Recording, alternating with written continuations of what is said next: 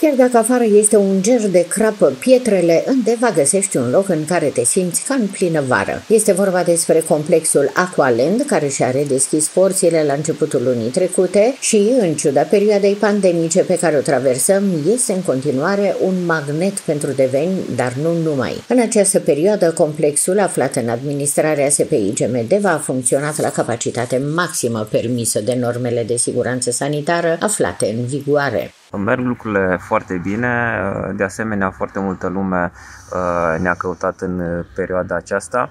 Uh, așa cum bine știm, este o atracție Aqualendul pentru toți locuitorii județului Hunedoara, cât și pentru cei din uh, județele învecinate.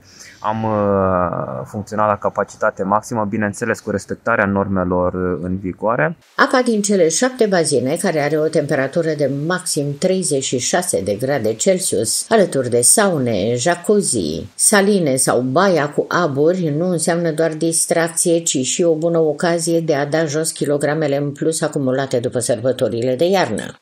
De asemenea, ne bucurăm foarte mult că și în acest an uh, Acolendul a fost un punct de atracție pentru cei care doresc să scape de kilograme în plus și vor să se relaxeze în, uh, sub o altă formă. Tarifele de la complexul Aqualand din Deva pentru 3 ore de scăldat se încadrează între 15 și 25 de lei, iar un bilet pentru o zi întreagă este de 40 și 45 de lei sau 55, preț în care intră și sauna și salina. Aqualand Deva este deschis pentru public lunea între orele 14 și 21, iar de marți până vineri în intervalul orar 9-21, iar în zilele de weekend amatorii de o bălăceală pe cinste pot face acest lucru de la ora 10 până la ora 21.